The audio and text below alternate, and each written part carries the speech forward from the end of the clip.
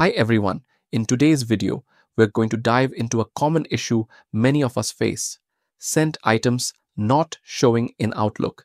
The easy way to fix the problem of Outlook not saving sent emails is to delete old, unwanted, or irrelevant emails and messages from the sent folder in Outlook. To address this issue, we can create an alternative folder to store sent items. Launch the Outlook application. Click on New Email in the Home tab. Click on Options in the New Email window.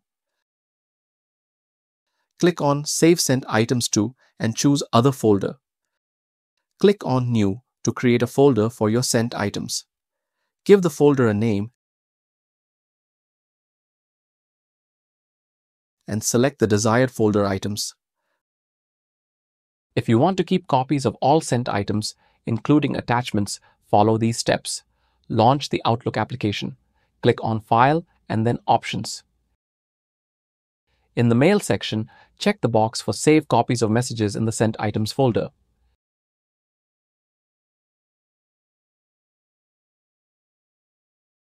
Cached exchange mode can sometimes contribute to performance issues and folder clutter.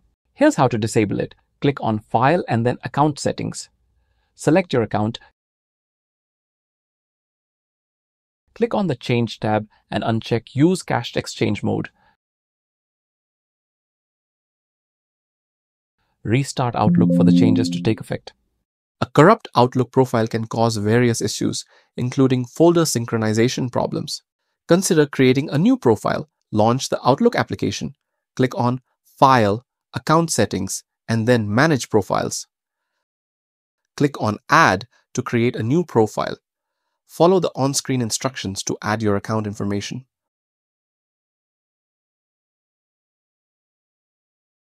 Restart Outlook to use the new profile. Sometimes a corrupt Outlook profile leads to missing sent items.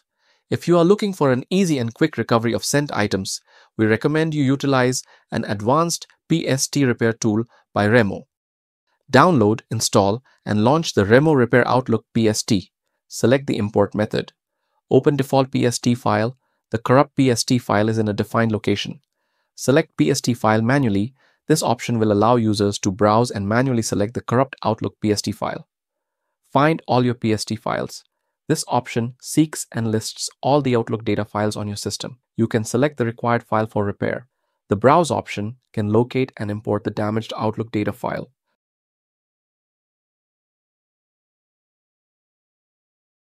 Select the folder to save the fixed file and click Repair. If you are still facing issue with sent items not showing in Outlook, click on the link for all Outlook solutions.